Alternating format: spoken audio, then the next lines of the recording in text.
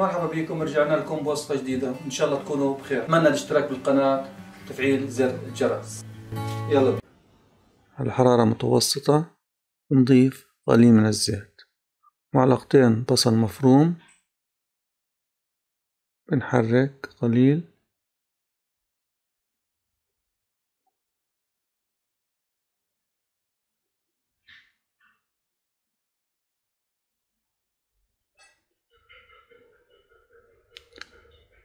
ثلاث فصوص توم مهروسين تقريبا وفلفل حار ممكن نستق... ممكن نستبدل الفلفل الحار فلفل حلو. طماطم مفرومة تقريبا معلقتين طعام. ننتظر دقيقة. على على حرارة متوسطة.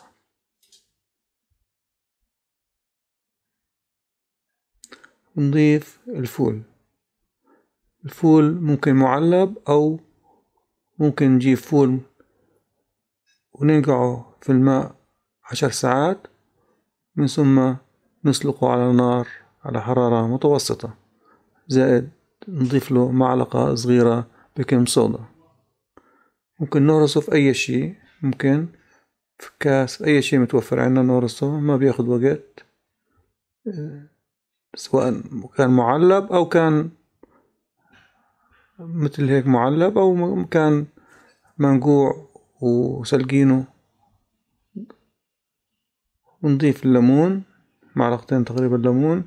ونضيف الطحينة معلقة طعام طحينة ورشة خفيفة كمون ورشة ملح. هيك صارت جاهزة. هاد الوصفة الأولى. طبعا تزيين مثل ما إحنا بنحب. وزيت زيتون نضيف الوصفة الثانية نضيف فول سواء معلب أو مسلوق. نهرسه بنضيف ليمون عصير ليمون وتوم ثلاث فصوص توم وفلفل ورشة ملح ورشة كمون. ومعلقة طحينة. ونحرك. هيك صار جاهز. الوصفة التانية خلصت. تزيين مثل ما إحنا حابين. طبعا الملح والليمون هذا اختياري.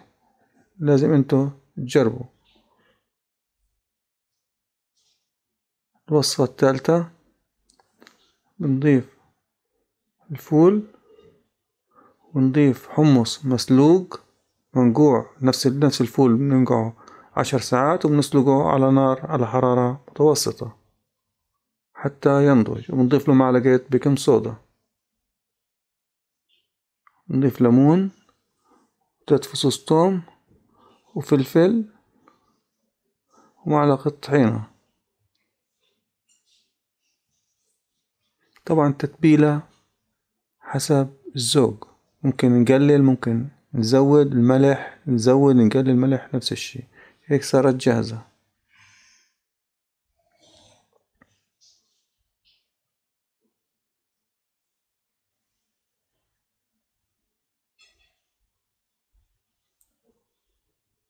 مثل ما حكينا تتبيلة حسب الذوق سواء الحامض أو الزيت أو الملح أو الكمون.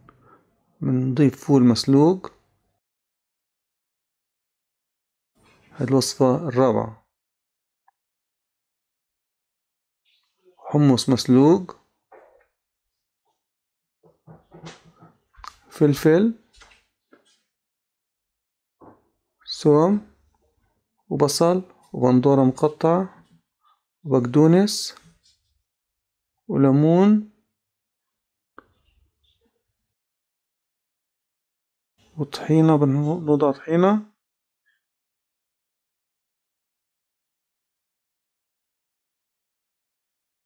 نضيف الملح والكمون قليل من الزيت. هيك صاروا جاهزين صحة وألف عافية. كل عام وأنتم بخير. أتمنى تشتركوا بالقناة. شكرا كتير لكم. مع السلامة.